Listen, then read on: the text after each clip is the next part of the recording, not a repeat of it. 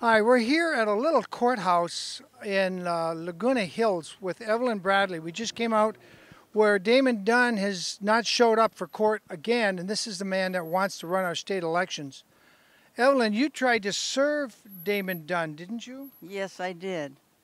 I've tried to serve him at his condo. I've tried to serve him at his office, and he's never there. And he even told his security people at his condo to call the police on me. And I said, I haven't done one thing wrong.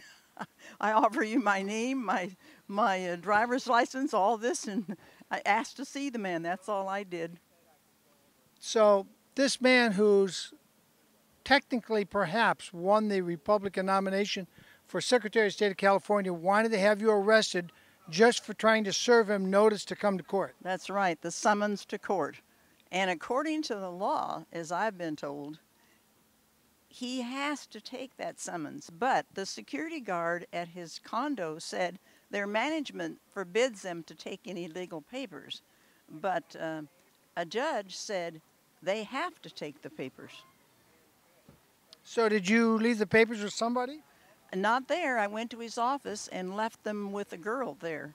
And uh, she just kind of sat there shocked. She didn't know what to do. But then I had another set of papers to file for Pamela Barnett, who's suing him.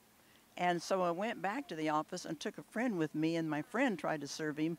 And uh, some he they, they claim he's not there. They always claim he's not there. He's up north. He's not coming in. This and that. But the second time I went to his office, they claimed he didn't work there anymore, and that he had a new address um, because he was running for a state office. And I said, Oh, fine. What is that address? Oh, we don't know.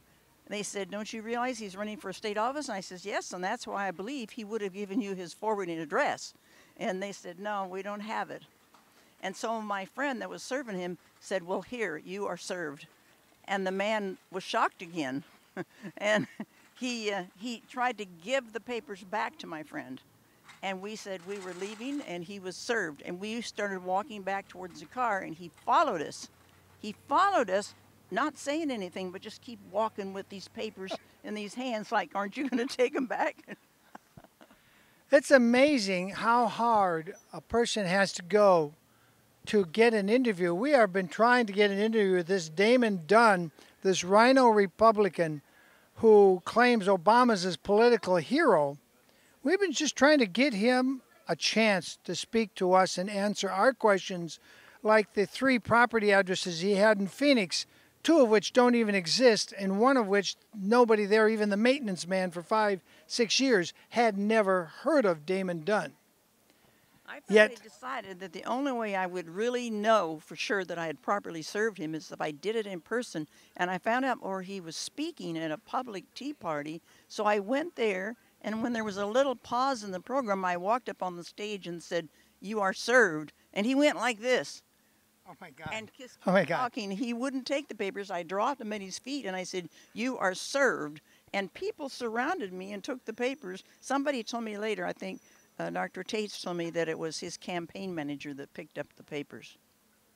Well, that's service by proxy, but you got them served. What tea party was that at? It was in a, was in a church building in, in Orange County? No, I don't think it was Orange County. It was somewhere else. San Diego? Uh, Harbor City or something like that. Harbor City. Hermosa? Oh, Hermosa, Hermosa Beach? Tea Party. Mm-hmm. Ah, the Hermosa. It appears that Tea Party people have been totally taken in and bamboozled by this Damon Dunn. We found the same thing at Fresno. Uh, they just defend him to the teeth. Uh, the fix seems to be in to make this rhino, this Republican in name only uh, former Democrat for most of his registration life make him the Republican nominee for Secretary of State. Life make him the Republican nominee for Secretary of State. And today, here at this little courthouse with four courtrooms in Laguna Hills, Orange County, California, uh, Orly Taitz attempted to get him into court and I'm not sure, but I got to say this for Judge Corey uh, Gramin, was the judge presiding. He declined jurisdiction and sent her to uh, another court, and another time expedited, but that probably means three or four days from now, to have this case to stop the Orange County from counting the votes because I myself have validated at least five people have said they don't know who Damon Dunn is and they never signed his nomination papers. And two of them were even angry about the fact that I brought the news to them that their name, their signature was on Damon Dunn's nomination papers.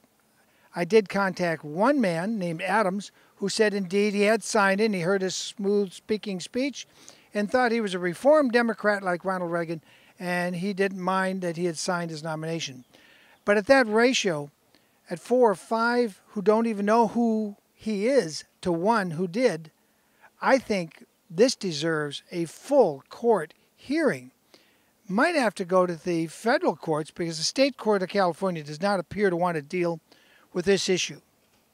I'm William Wagener down here in Laguna Hills, Orange County, where Fox, CNN, ABC, all the controlled mainstream media have once again failed to do the job the media is supposed to do.